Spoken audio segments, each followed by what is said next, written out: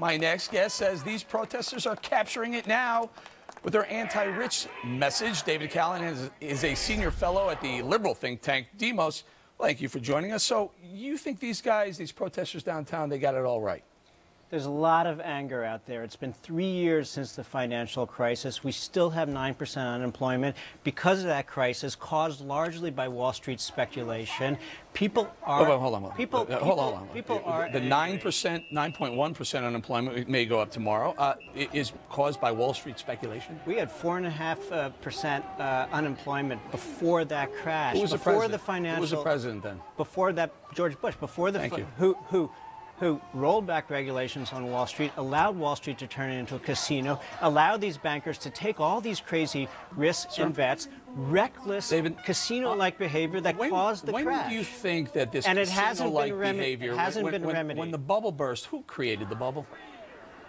Well, Wall Street helped create that bubble by securitizing mortgages. who created the bu bubble? Yeah, thank you. Okay, by, let's by, go. By securitizing mortgages. Which mortgages? By bundling Which these sub, mortgages? bundling subprime mortgages together. Where did the subprime mortgages ped- come from? Peddling it to they, Say it.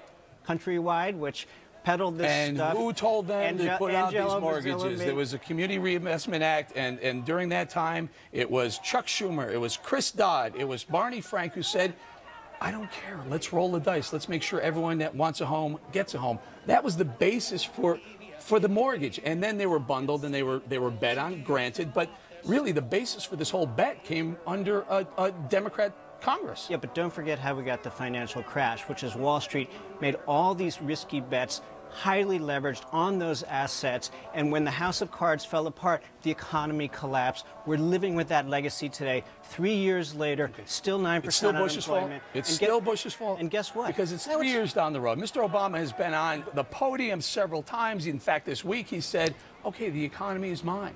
But you're still pointing the finger, and, and these protesters are still saying, look, it's greedy corporations and, and Republicans. Well, the, the protesters are saying basically this economy is not working for ordinary Americans, and it's not. You have record corporate profits. You have the top 400 Americans with more net worth than the bottom 50% Americans. You have 46 million people living in poverty. What kind of economy is working if you have record corporate profits when 46 million people are living in poverty? That's an what, economy what is, that's not working. Why Capitalism are you, why is are great. you blaming profit? You're blaming profit for the, the ills of the economy. I'm not blaming profit, Eric. I'm just saying that when you have record corporate profits, when you have record amounts of wealth in the hands of the rich, and you have 15% uh, of people living in poverty, 25%, right, let me ask you this. Million, so what's 20, the answer? 25. What's the answer?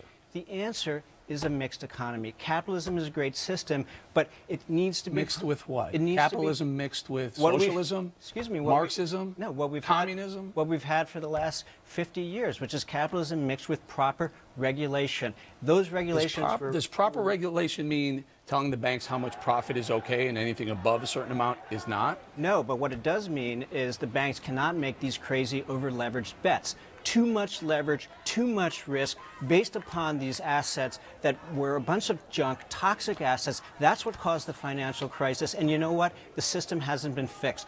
Banks and Wall Street have spent $750 million in just the you know, past three years Mr. Obama trying to today, roll, trying to stop that. The president today showed his hand. He was on that podium. He was making this job speech, and at one point, a reporter asked the right question. You, Mr. Mr. Obama, a while back, a couple days ago, you said banks shouldn't make more profit than they deserve.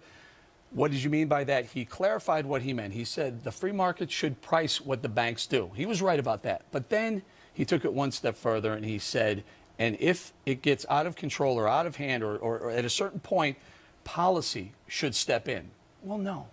No, policy shouldn't step in. The free market should step in. If a bank charges too much for services, people will go to another bank.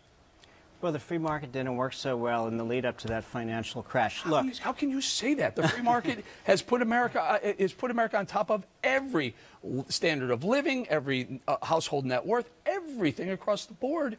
It's working. Well, right. Mixed economy has worked over the past 50 years, but what we've seen is those safeguards and regulations rolled back, which has let Wall Street turn into a casino, and the system has still All not, right. not been fixed. We're going to leave it there. David Callahan, appreciate your time, but I still think you're wrong.